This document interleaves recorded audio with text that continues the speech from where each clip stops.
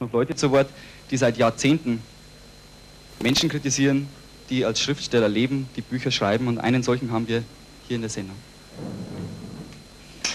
Also zunächst Papst und ich, das stimmt nicht. So werde ich genannt, aber das hat keinen Sinn. Denn mit dem Begriff Papst ist der Begriff der Unfehlbarkeit verbunden. Zwar sind Päpste Menschen und unfehlbare Menschen gibt es nicht, gleichwohl Päpste gelten, sollen als unfehlbar gelten. Unfehlbare Kritiker hat es noch nie gegeben. Und wenn es welche gibt, dann taugen sie gar nichts. In unseren Wörterbüchern steht der Begriff ganz falsch. Kritisieren, das heißt runtermachen, tadeln, verreißen, nörgeln, großer Quatsch. Kritisieren heißt vor allem unterscheiden. Unterscheiden zwischen gut und schlecht. Ein Anfänger zu verreißen ist ja absurd. Über einen Anfänger schreibt man positiv oder überhaupt nicht. Ich muss es einmal sagen, Schriftsteller sind schreckliche Menschen. Furchtbare, die können sich nicht vorstellen. Aber es sind nicht nur die zeitgenössischen Schriftsteller schreckliche Menschen. Also der edelste deutsche Schriftsteller überhaupt. Die beiden edelsten waren Walter von der Vogelweide und Wolfram von Eschenbach. Wenn man Kritiker wird, nimmt man ein Risiko auf sich. Das ist kein ganz einfaches Leben in der literarischen Branche als Kritiker. Das ist kein einfaches Leben, aber trotzdem hat er es jahrzehntelang auf sich genommen. Marcel Reich-Granitzky, Professor, er ist der Kritiker in Deutschland, der eigentlich am bekanntesten ist. Er ist Jahrgang 1920, hat 14 Jahre lang bei der Zeit und 15 Jahre lang bei der FAZ kritisiert, Bücher kritisiert, sitzt jetzt heute bei uns abends in der Sendung. Ich begrüße Sie, freue mich, dass Sie gekommen sind. Und ähm, ich würde gerne ein bisschen anknüpfen an die vorherige Diskussion. Nur einen Punkt, den Unterschied zwischen Literatur und Geschichten erzählen. Sehen Sie den? Ja, zuerst einmal will ich sagen, dass ich von dem, was ich bisher gehört habe, mit großem Vergnügen gehört habe, was Frau Susanne Seitz gesagt hat. Selten ist in wenigen Minuten so viel Vernünftiges über Literatur gesprochen worden. Und eins ganz grundsätzlich, die Dichter, die die Welt verändern wollen, verändern die Welt heutzutage nicht, aber die schreiben schlechte Literatur. Das ist immer so. Wer die Welt verändern will, mit Hilfe von Romanen, der muss schlechte Romane schreiben, nämlich solche, die Millionen erreichen. Gute Romane benutzen, verwenden neue Ausdrucksmittel, sind schwierig und sind somit nur für eine Minderheit zugänglich. Dies ganz allgemein. Ja, noch ein bisschen näher. Ja. Gut, ich kann es noch näher Wunderbar. halten. Jetzt fragen Sie Geschichten erzählen und, und Literatur. Ja, Literatur ist mehr als Geschichten erzählen. Geschichten erzählen, das ist ein Teil, ein unerhört wichtiger Teil der Literatur. Aber daneben gibt es Theaterstücke, da wird eine Geschichte mit den Mitteln der Bühne erzählt und es gibt Gedichte. Und Gedichte erzählen in der Regel keine Geschichten, es sei denn, es sind Balladen Gedichte drücken etwas aus, meist sehr wenig. Ein Gedicht enthält nur einen Inhalt, beispielsweise Ich liebe, Schluss. Darüber sagt der Dichter 20 Verse und die können herrlich sein. Oder ich bin traurig, ich bin eifersüchtig und dergleichen. Reden wir mal über die Sachen, wo Sie meinen, dass diese Schriftstücke auf jeden Fall etwas ausdrücken und eine bestimmte Richtung angeben und den Leser vielleicht auch anregen, etwas nachzudenken. Sind Sie der Meinung, dass Jugendliche solche Schriftstücke vermehrt lesen sollten in dieser Zeit? Nein, überhaupt nicht. Ich bin überhaupt nicht der Ansicht, dass junge Menschen Literatur lesen müssen. Was ist ein Vorurteil? Warum sollen junge Leute Bücher lesen? Man kann wunderbar auf dieser Erde leben, ohne Bücher zu lesen. Aber Sie könnten ja. es nicht. Langsam. Lassen Sie mich, lassen Sie mich mal. Das ist ja furchtbar, man muss hier immer so einen Apfel vorm Mund halten. Aber jetzt... ja reinbeißen gleich. Also, man kann wunderbar auf dieser Erde leben, ohne Bücher zu lesen. Man braucht auch nicht Musik zu hören. Das ist gar nicht nötig. Man kann ohne Mozart, ohne Schubert, ohne Brahms leben. da würde man schön. aber entweder sich langweilen oder auch was verpassen. Nein, ich will Ihnen etwas erklären. Sehen Sie, ich werde Ihnen gleich ein drastisches Beispiel geben, das junge Leute, glaube ich, sehr gut verstehen werden. Es ist ja sehr schön, wenn Menschen miteinander ins Bett gehen und da allerlei im Bett treiben. Ist dazu Liebe nötig? Nein, dazu muss man gar nicht Na, lieben. Halt, lass mich mal aufregen. Da haben wir aber ganz nein, nein, nein, nein, nein, nein. sage, da, dazu ist Liebe gar nicht nötig. Ich glaube aber, dass alles, was sich im Bett abspielt, mit Liebe noch schöner ist. Zurück jetzt zu der Musik. Man kann ohne Mozart und Schubert und Chopin leben, aber das Leben mit Mozart ist etwas schöner als ohne. Und darum geht es nur. Und so ist es genauso mit der Literatur. Wer hat denn gesagt, dass man Bücher lesen muss? Aber mit Literatur, und zwar guter und unterhaltsamer Literatur, ist das Leben noch schöner.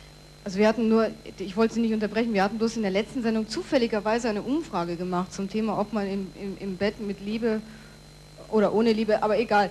Aber was mich interessieren würde, sind Sie denn, weil sehr... Das ist nicht egal. Doch, doch, das ist jetzt, weil das ist nicht für mich nicht. Ja, Liebe, für mich ist das nicht egal. Gut. Vielleicht in Ihrer Generation ist das nicht mehr üblich. Nein, das, davon, davon rede ich gar nicht. Nein, aber ich was bin in doch von unserer... der Generation, die da ein bisschen geliebt hat. Das freut mich. Ja, Nein, aber was in unserer Generation zum Beispiel auch ähm, eine, eine unserer Lieblingsbeschäftigungen ist, das glaube ich sagen zu können, ist auch Fernsehen. Finden Sie, dass Fernsehen schlechter ist als Bücher lesen? Aber um Gottes Willen, was heißt ein Fernsehen? Es kommt darauf an, was man auf dem Bildschirm sieht. Da gibt es nämlich furchtbaren Mist und sehr gute Sachen. Sie können doch nicht sagen, Bücher lesen. Es gibt gut, gute Bücher und miserable Bücher und so gibt es gute Fernsehdarbietungen und schlechte. Was bevorzugen Sie, wenn Sie Bücher lesen, weil Sie lesen ja enorm viel Bücher, bevorzugen Sie die, wo Sie dann danach etwas dazugelernt haben? Ich bin sicher, das geht auch noch bei Ihnen. Oder bevorzugen Sie die, die Sie hauptsächlich unterhalten? Nein, also nur, Beide da ist nicht. meine Antwort ganz klar. Ich bevorzuge Bücher, die mich nicht langweilen. Das ist das Wichtigste. Meinen Sie, ich lese Romane, um etwas zu erfahren über das Leben in England oder über die, das Leben im 17. Jahrhundert? Das interessiert mich doch gar nicht. Ich lese, ich lese, Rom, ich lese Romane auf der Suche nach Unterhaltung. Das ist nämlich das Allerwichtigste, die wichtigste Aufgabe der Literatur, die Menschen zu unterhalten. Sehen Sie, ich glaube, dass äh, unsere Generation sehr unterhaltungssüchtig ist in einem gewissen Maße und dass da nicht die Bücher immer das sind, wo man als nächstes hingreift, sondern man ist immer versucht, dann den Fernseher anzuschalten, meinetwegen, oder man geht vielleicht abends mit den Freunden tanzen oder man. Was glauben Sie, wäre ein Rezept, damit man die Jugend mehr zu Büchern zurückbekommt? Also, erst einmal, da Sie vom Fernsehen sind. Wenn ihr bessere Filme machen werdet, bessere Verfilmungen literarischer Werke. Wir tun, was denn- wir können, wir laden Na, Sie Sie ein. unentwegt machen Sie doch im Fernsehen, werden doch unentwegt Romane verfilmt, Theaterstücke verfilmt und so weiter. Ich habe nichts dagegen.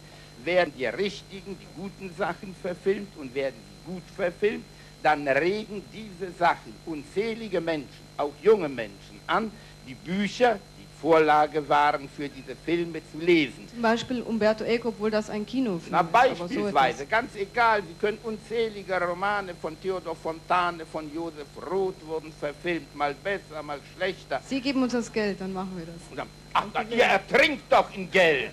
Ja. Ihr wisst, das Fernsehen weiß ja gar nicht, was es mit dem Geld machen soll. Ich kann Ihnen Beispiele geben aus meiner eigenen Praxis. Mir hat man mal Tausende gegeben für zwei Minuten, die ich reden sollte. Ich meine, ich habe das Geld genommen unter uns.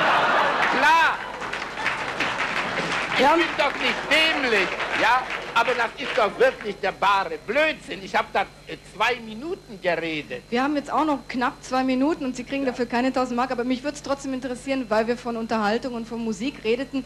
Sie haben vorher fasziniert auf dieses Lambada-Stück geschaut, was wir gespielt haben. Das kannten Sie vorher noch nicht. Nein, das ist interessant, hat mir gefallen. Hat Ja. es Ihnen, könnten Sie dazu tanzen? Können Sie sich das Nein, vorstellen? ich kann überhaupt nicht tanzen. Wissen Sie, ich kann viele Dinge nicht. Das ist nicht so, dass ein Kritiker alles kann. Ich kann vor allem beispielsweise keine Romane schreiben. Deshalb bin ich Kritiker geworden. Gut. Als solchen haben wir Sie auch eingeladen und Sie bleiben uns ja erhalten. Am Ende der Sendung wollen wir uns nochmal mit Ihnen unterhalten, aber jetzt schon mal danke, Marcel Reichranitzky. Die Sauereien aufdecken, Richtig. auch wenn sie den kleinen Leuten Vergnügen bereiten. Natürlich. Dann haben sie noch etwas Da, gesagt. Aber da stimmen wir völlig überein, Ja. Herr Reichmann. Dann haben Darf ich sie die Frage aber mal über- noch etwas übernehmen, ganz gefährlich. Sie haben gesagt, Ja. in den totalitären Staaten Ja. Ja. macht die Korruption den Staat eine Spur menschlicher. Nein, das habe ich Ja. nicht gesagt. Sie haben doch eben gerade Herrn Richter getadelt, dass er nicht gut zugehört hat. Ja. In diesem Fall haben Sie mal nicht gut Ja. zugehört. Was Ich habe nur gesagt, in einem totalitären Staat ist manchmal das Vorhandensein von Korruption noch hilfreich gegenüber einem terroristischen Staatsapparat. Und da ist es besser, wenn vielleicht ein, ein Beamter... Nur, nur, Noch, wir ja. wollen das nicht auf unsere Verhältnisse Habe ich. Überhaupt auch nicht. gesagt. Sie? Aber auf was Sie? wir es übertragen können, und die Frage möchte ich jetzt mal übernehmen und an Herrn Reich-Ranitzky weiterleiten. Wie schützen Sie sich, der ja, ich weiß, Sie mögen das Wort nicht, als Literaturpapst gilt, als jemand, der eine Menge äh, davon versteht, Kritiken zu schreiben über Leute, der Leute praktisch hineinheben kann in die Gilde derer, die als Schriftsteller gelten, der aber Leute aber auch vernichten kann mit seinem Urteil, Ja. beziehungsweise sehr behindern kann. Wie schützen Sie sich gegen Ihre persönliche Korruption, dass Sie Also. sagen, der gefällt mir oder die gefällt mir jetzt, der mache ich eine gute, Ja, eine gute also die Sache ist die, ich habe 15 Jahre lang in der FAZ gegen die Korruption gekämpft. Denn eine der größten Gefahren im literarischen Leben sind die Gefälligkeitskritiken. Sie können sich nicht vorstellen, wie das literarische Leben verpestet ist durch Gefälligkeitskritiken. Dagegen kämpft man aussichtslos. Man kann aber die Quantität, die Zahl dieser Kritiken reduzieren, einschränken. Das ist schon immerhin etwas. Und wie ich persönlich dagegen kämpfe, sehen Sie, ich brauche gar nicht so viel zu kämpfen. Die Sache ist die, Sie sagen, irgendjemand gefällt mir und dann schreibe ich eine gute Kritik. Lieber mein Beruf und mein Ruf und mein Renommee, das ist mir alles wichtiger, als ob mir einer gefällt Klar. oder nicht. Ich kann es mir gar nicht leisten, Gefälligkeitskritiken zu schreiben, denn mir schauen gar viele auf die Finger. Und das Ohne- ist gut so. Aber In dieser, in dieser Hinsicht jetzt als Nicht-Gefälligkeitskritiker waren Sie jetzt eigentlich auch noch am Schluss eingeplant, um Jugendlichen zu empfehlen, was ist gute Literatur für sie. Jetzt ist natürlich wenig Zeit übergeblieben, weil wir hier eine Menge noch rundherum diskutiert haben. Die Zeit wird dadurch nicht länger. Ganz kurz jetzt nochmal, was sollen wir denn lesen, damit uns Also- Literatur Spaß macht? Also ich denke, man soll vor allem den jungen Menschen nicht empfehlen, dass sie die erzählende Prosa von Goethe lesen oder von Kleist. Das waren und sind Genies, aber ich glaube nicht, dass sie wirklich von jungen Menschen, die noch nicht mit der Literatur vertraut sind, mit Vergnügen gelesen werden. Und Literatur soll Vergnügen bereiten.